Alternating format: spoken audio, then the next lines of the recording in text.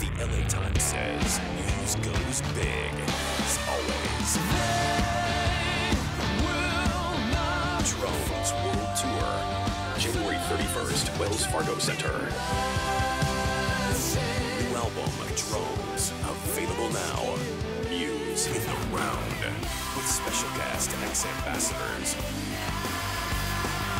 Get your tickets on sale now at ComcastTix.com, the box office, or charge by phone.